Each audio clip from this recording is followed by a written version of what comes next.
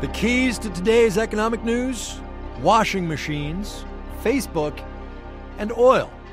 We'll make it all make sense for you from American Public Media. This is Marketplace.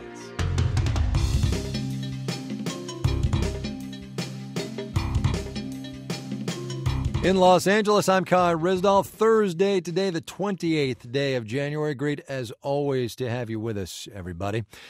Without putting too fine a point on it, there are more economic indicators out there than you can shake a stick at. So many that honestly, you can get lost in them. We do try real hard to concentrate on the biggies around here jobs, gross domestic product, for instance, the kind of numbers that can give you a top level view. Every now and then, though, it can be good to drill down a little bit, and today presents just such an opportunity.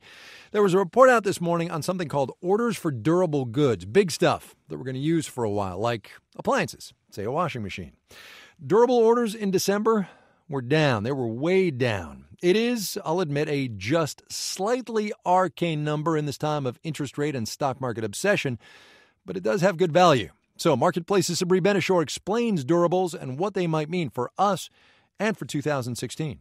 Walk through your office or your house and you will see plenty of durable goods. There's a refrigerator, your computer, the printer, your HVAC system. Maybe you are driving a durable good right now basically items that are intended to last at least three years. Sameer Samana is with Wells Fargo Investment Institute. Now, you're not going to put down for a durable good like a new computer, much less a big piece of factory equipment, if you don't think you're going to use it and pay for it and maybe make some money off of it in the next few years, which is why economists care about durable goods orders. It reflects a certain amount of sentiment and confidence regarding the future. And in December, it looks like confidence about the future was pretty poor. Uncertainty is starting to make its way into consumers and into company psyche. That is not to say, though, that this is all about feelings. The dollar has continued to strengthen, making our exports less competitive. So, U.S. producers are certainly being hard hit Sarah Johnson is with IHS Global Insight. One industry that normally orders a lot of durable goods is oil and gas, and with oil prices so low, orders have been low too.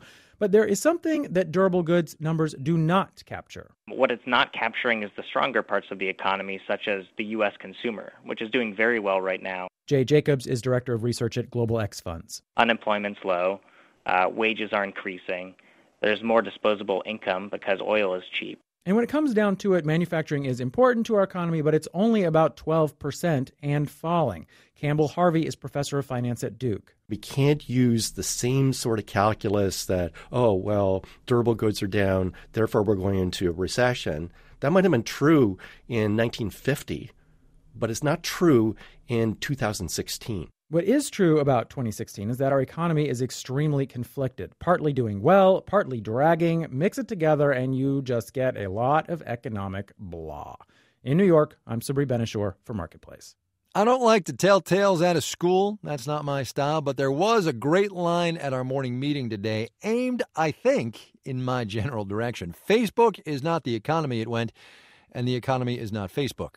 Touche, and maybe not, but holy cow, did you see their earnings yesterday? Honestly, they're just killing it. Ad revenue up 52%, way more than Wall Street was expecting, and 80% of that coming from mobile ads. You add it all up, $4.5 billion. Shares, of course, boomed today, but I will pause here to remind you that not all that long ago, like 18 months, maybe two years tops, the social network behemoth of today was struggling mightily to break free from the desktop. So, what happened? Sally Herships has that. Facebook has been playing a long game of catch up. Shyam Patil is an internet analyst with Susquehanna Financial Group. He says back in 2007, when the iPhone launched and the world started going mobile, Facebook got stuck a step behind. During that transition, while a lot of these companies had figured out how to monetize desktop, since mobile was so new, they were still working on figuring it out. Here's one way they did. They really pioneered what's known as native advertising. So placing ads within the kind of normal newsfeed flow of the user. And Facebook made a big decision to create its own app. Spencer Scott is with Fixu. It helps advertisers buy ads on platforms like Facebook. So, an app that a consumer could download and abandon their strategy of just being a mobile website. Then the company bought Instagram and a few years later WhatsApp, a messaging app. So as younger Facebook users cut back on the site because their mothers are there, they're still logging into the Facebook universe. Shyam Patil again. Exactly. They, they may not think they're on Facebook, but they really are. Delivering a steady stream of data names, birthdays, all your likes. Ben Schachter is an internet analyst at Macquarie. You can say, I only want to show this ad to a female uh, person who happens to like Star Wars in Missouri. And if advertisers want broad reach, they know. There's Facebook, there's Google, then there's everybody else. In New York, I'm Sally Herships for Marketplace. Facebook shares, ticker symbol, a very unimaginative FB, by the way, up 15.5% today. The rest of Wall Street up as well, more modestly. Of course, we'll have the details when we do the numbers.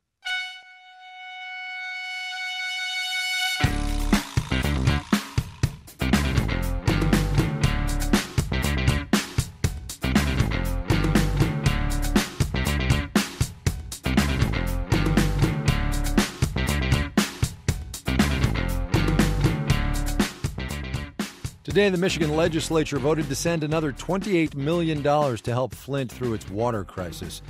The money is going to help cover more bottled water and filters and more testing and monitoring of lead levels in town. You know, Flint was hardly affluent before this. 40% of residents live below the poverty line, and the school system in town has a multi million dollar hole in its budget. And that really is where this water crisis is going to come home to roost with the kids who live in Flint in schools where the effects of lead poisoning are going to linger for years. Marketplace's Lizzie O'Leary reports from Flint. Of the skills you'd expect a typical 12 year old to have, filtering lead is not one of them. You um, push this down to make the filter like come on. But like most kids in Flint, Savannah Liddell is not living a typical existence right now. When it's up, so which is the which is the good water, which is the bad water? this the good one. Good and bad are relative in this case, since Savannah and her family still aren't drinking city water. They've got cases of bottled water stacked up in the hall of their apartment. And yes, the city gives out a case of water a day. But that doesn't really cut it for Savannah, her two brothers, the cousins who stay there, and her single dad, Philip, who's currently unemployed. Well, basically, I might, with this water, I might spend about a, hundred dollars I don't have. He's even given his kids new rules about how to take a shower.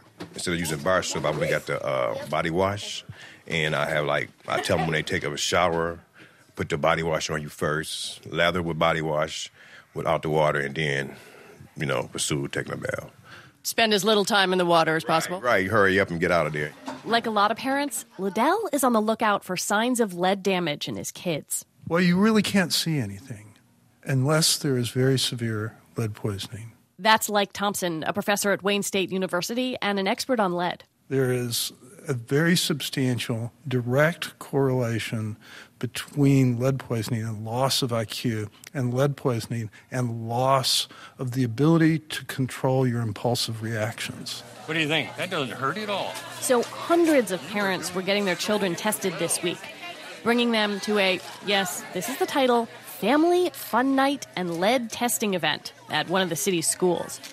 There were balloon animals, toys, volunteers being as perky as possible, but squirming toddlers still had to get their fingers pricked repeatedly to draw enough blood to fill a little vial. I think, Beth, unfortunately, I'm going to have to poke you one more time, okay? Evelyn Woods brought her five year old Bethany for testing. She got a stuffed dog after her test. She seems like she's being pretty brave. Yeah. What did you tell her before you guys came here? Um, I just told her she had to go get poked and get tested for, you know, lead and make sure she was okay. The tests, which were paid for by the county health department, will come back in a week or two. But lead levels are only detectable for 30 to 40 days. So kids could have been poisoned months ago, and it wouldn't show up now. The place where any long term damage will show up is in school. Eileen Tomasi is the Flint School District nurse, the one nurse for the entire district. That's 5,500 students. Some of the psychologists in the district have said they're, they're the little kids, the three, four, and five year olds that they're testing, that they've already seen a difference. What are they seeing? Um, they're not they're not where they should be right now, um, as far as like sociability skills that they test the little ones. This is going to be a, a, an ongoing issue for years and years and years. It's, it's a whole generation here that's been poisoned. Um, so the impact on the schools will be huge. Flint schools are deep in debt. This year, the school system hopes to have a budget deficit of only $10 million. That's down from a $21 million deficit last year. It's unclear how a system so strapped, even before the lead, can handle this. The Flint superintendent, Bilal Tawwab, says the schools will need more special ed teachers, more nurses, and more early childhood programs. He says they hope to get more money from the state and describe the situation as an education emergency, one where the mistakes of adults are being paid for by kids. In Flint, I'm Lizzie O'Leary for Marketplace. Lizzie wrote up some thoughts about what she found while she was out reporting in Flint. She's posted them at medium.com. Our handle there is at Marketplace. Check them out.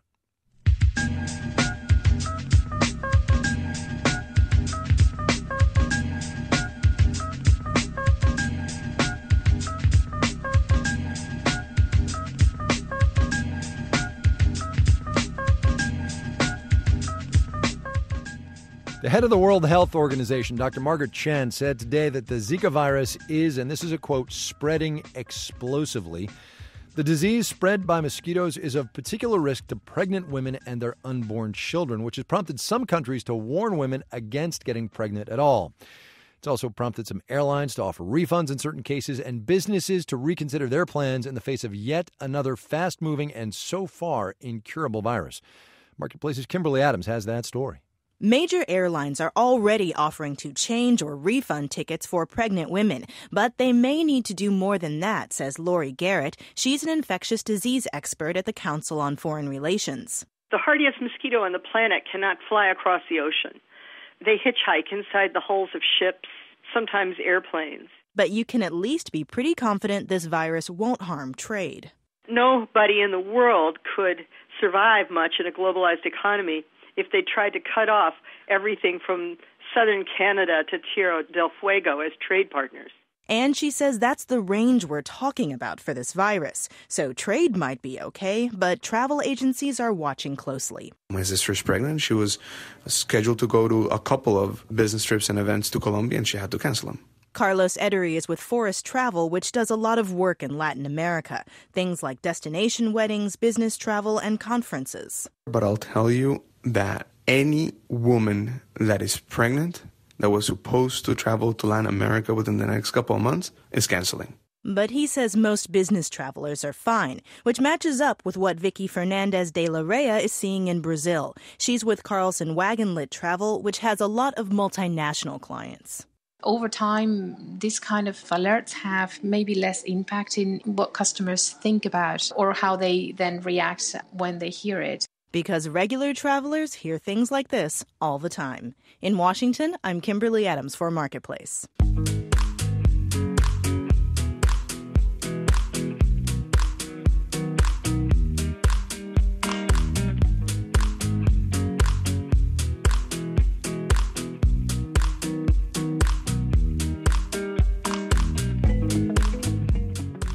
Coming up.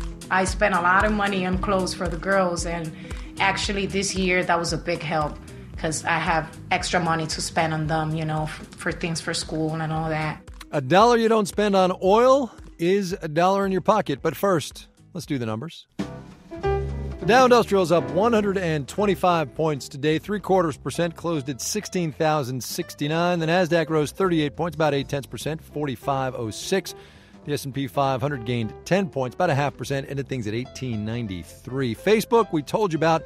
Elsewhere in the social media world, LinkedIn delivered one and six tenths percent today. Twitter, however, continued with its woes off 1.7 percent. News today that the drugstore giant Walgreens won't send tests to a Theranos lab in California. A government report says the blood testing startup's lab jeopardized patient safety. Walgreens Boots Alliance shaved off 1%. CVS Health slumped 9 tenths of 1% today. Bond prices rose. The yield on the 10 year T note fell to 1.98%. You're listening to Marketplace. This is Marketplace. I'm Kai Ryssdal. General Motors unveiled its new electric car at the North American International Auto Show earlier this month. It's called the Chevy Bolt, not to be confused with GM's hybrid, the Chevy Volt. And the car is getting some buzz, nothing to sneeze at when gas prices are low. Big cars are selling well, and American automobile production continues to rise. Pam Fletcher is the executive chief engineer for electrified vehicles at GM, or another way to think about it, she is arguably in charge of the future for the world's number three car company. Pam, it's good to have you on. Kai, great to be with you today. Tell me, I guess, first of all, how important this car is to General Motors. You know, the Bolt really is uh, an investment in the future. And so we look at this car to be uh, the breakthrough to take EVs mainstream.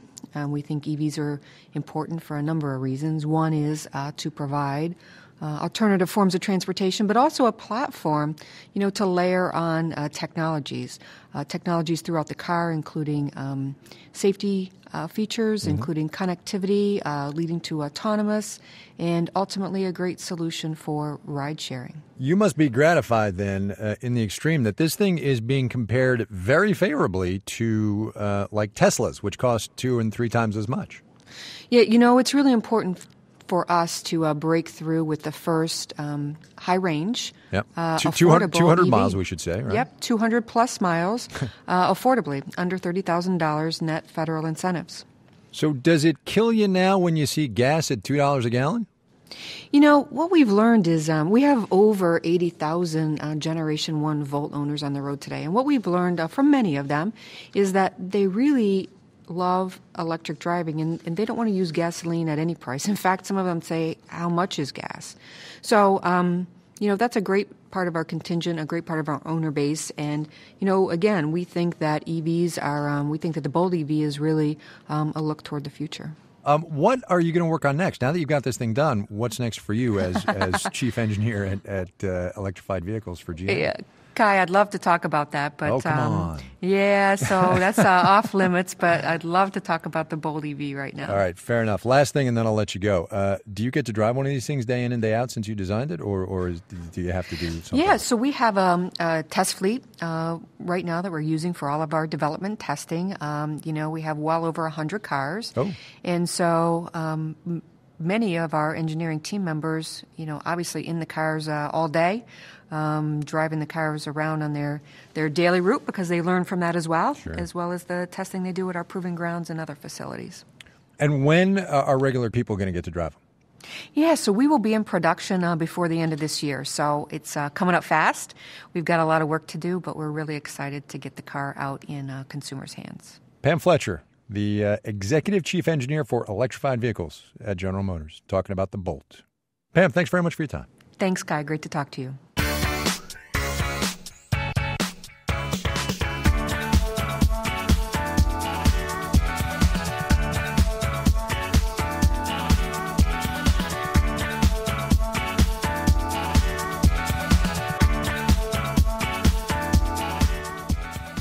The Obama administration has agreed to write off about $28 million worth of student loans for some former students of Corinthian colleges. Corinthian collapsed last spring amid charges by the Department of Education of widespread fraud and deception. Now, though, thousands more borrowers are hoping for some debt relief as well. From the education desk at WYPR in Baltimore, Maryland, Marketplace's Amy Scott has that story. In 2007, Pamela Hunt had just finished her bachelor's degree at the University of Connecticut when she saw an ad online for Everest University. You know, if you were a single mom, underemployed, this would be perfect. They had a great job placement. Hunt, who has five children, wanted to be a probation officer. Two years later, she had a master's in criminal justice from Everest's online program. But all those promises of job placement amounted to little more than a few emailed links to job search websites. Everest's parent company, Corinthian Colleges, was later fined $30 million for inflating its job placement figures and eventually forced out of business. Needless to say, I was never I've never been employed in my field of study. Now Hunt is making less than $15 an hour as a home health aide. Between her two degrees, she has $159,000 in student loan debt. Last May, she applied to have her Everest loans forgiven through a little-known part of federal law. If the college lied about anything that relates to the loans or the education, potentially the, the loans could be canceled. It's incredibly vague. That's financial aid expert Mark Kantrowitz with Cappex.com. According to advocacy group The Debt Collective, former students from other for profit colleges like ITT Tech and the Art Institutes have also filed claims. Robyn Smith with the National Consumer Law Center says it will take months for education officials to set rules to determine who qualifies. Which is why we are calling on the department to immediately stop collecting on student loans when students assert a defense to repayment claim, regardless of the school that they went to. More than 7,500 students have applied for debt relief in the last six months. If that sounds like a lot, Smith says hundreds of thousands should be eligible. I'm Amy Scott for Marketplace.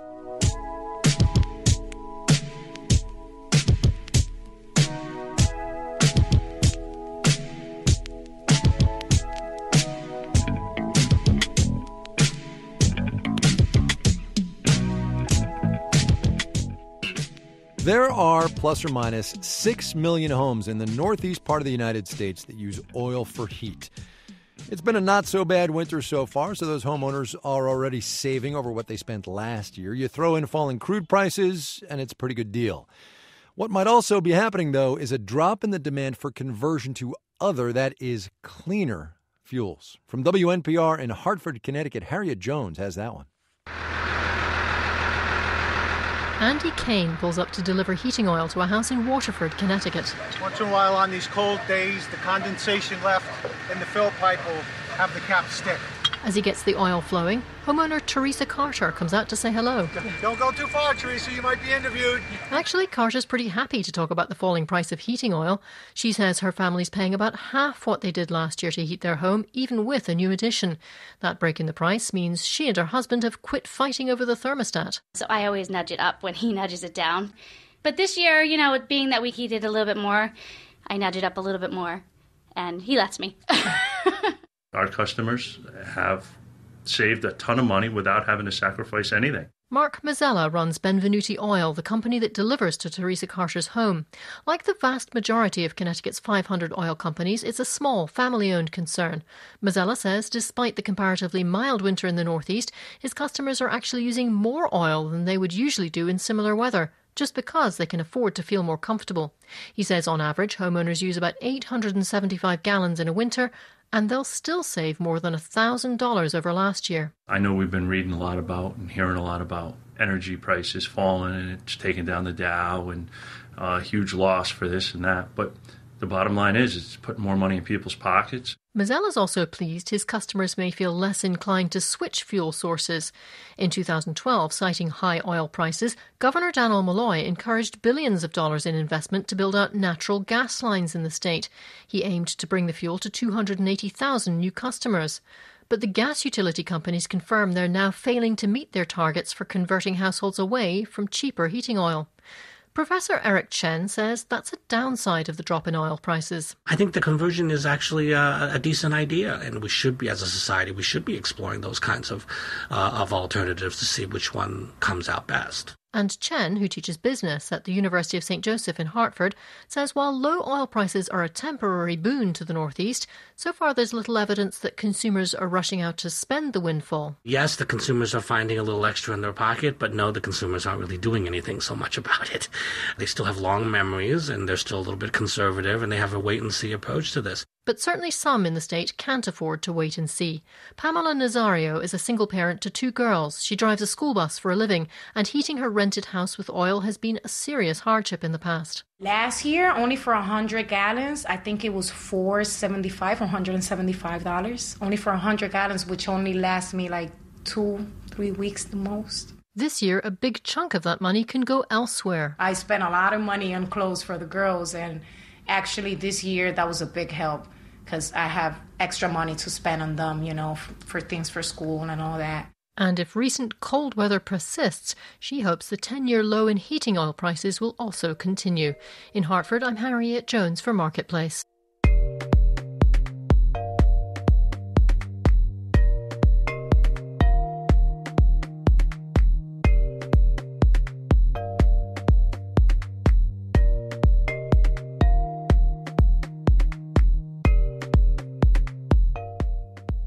This final note on the way out, a quick follow to our story yesterday about ad rates in tonight's Trumpless Republican primary debate. Mr. Trump has been tweeting all last night and all day today about how the rates Fox is getting for tonight's events are, and this is a quote, dropping like a rock. Turns out that's not true. Lie would be another word. The Wall Street Journal and CNN are both reporting Fox's rates are holding steady at about $200,000 for 30 seconds of airtime. That is a premium for what debates usually get.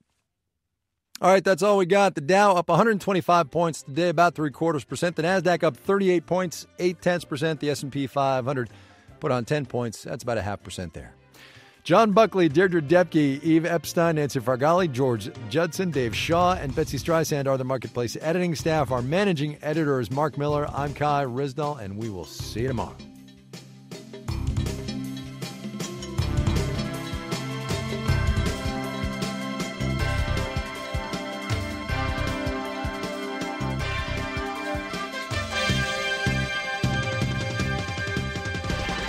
This is APM.